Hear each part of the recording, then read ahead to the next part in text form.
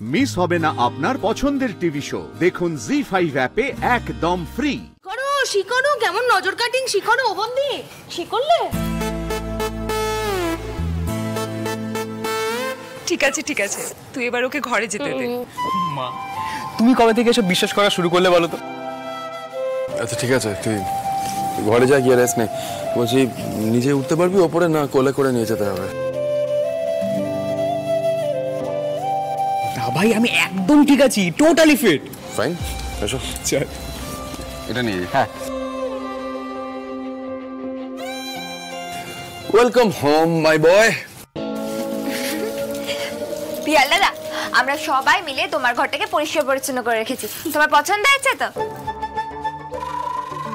এমন ভাবে ঘর সাজানোর আইডিয়াটা কার? আমার।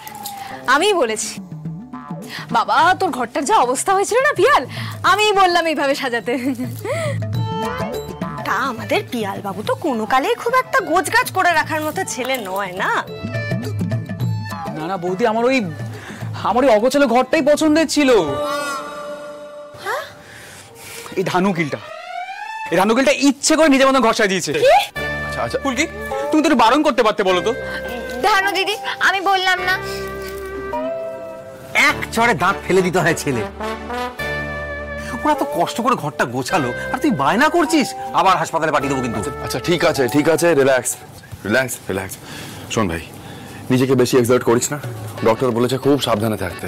হুম, বৌদি, ওর খাবার দাবারও প্লেন লাইট টাইপের হবে হ্যাঁ? জেঠিমণিকেও বলে দিও সেটা।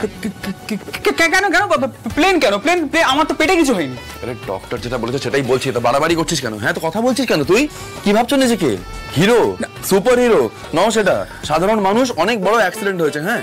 তাড়াতাড়ি নর্মাল লাইফ লিড করা যায় না বাবা। করবে করবে। এখন কিছুদিন নো অনিয়ম কমাল চলো ওর ওষুধ কিনে নিয়ে আসি। হ্যাঁ চলো ভাই আমাকেও তো পথ্যের ব্যবস্থাটা করতে হবে না? আমি তো জানতাম না। আমি পিয়ালের ফেভারিট বিরিয়ানিটা বসিয়ে দিয়েছিলাম বাবা।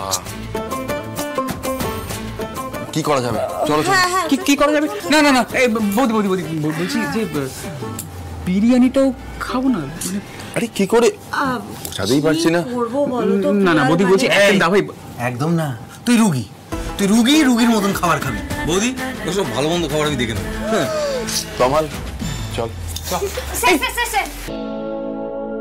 আপনি মজা করছেন তাই তো? আপনাকে এখনই মজা করতে হলো। শোনো পিয়াল দাদা তোমাকে যদি কেউ ভালো মন্দ খাবার না এনে দেয় আমি তোমায় এনে দেবো। ঠিক আছে? এই যে। চলে এলেন পিয়ালের সাপোর্টার হ্যাঁ একমাত্র ফুলকি দাসই আমার সাপোর্টার ফুলকি একমাত্র আমার কষ্টটা বোঝে। বাকি সব একেবারে পাষণ্ড। কি? মানে এরকম সবাই এরকম ইয়ার কি করে? ছি, ছি, ছি, মানে সত্যি করে মানে হয় সত্যি সত্যি আহারে। ভাই তোমরা কি ওষুধটা নিয়ে এসো আমি বরং রান্নার দিকটা দেখি। এই যে ধানু চল তুই কি আমাকে একটু হেল্প করবি। ফুলকি দাস বরং ওর পিয়াল দাদার সাথে একটু থাকুক। চল।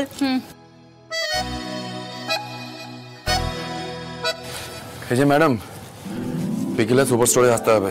পুজোর নতুন স্টক এসছে সব গুনে দেখে তুলে রাখতে হবে ঠিক আছে? হ্যাঁ স্যার যাব তো। চলো। দাদাকে ভাগ দেবো না। এই এই ফুলকি বলছি পায়েল কি আর তোমাকে ফোন করেছিল? মানে আমার ফোনটা তো বাড়িতে আমি তো হসপিটালে ছিলাম। কই না তো পায়েল দিদি তো ফোন করেনি। জি ফাইভ ডাউনলোড করুন আর সব এপিসোড দেখুন একদম ফ্রি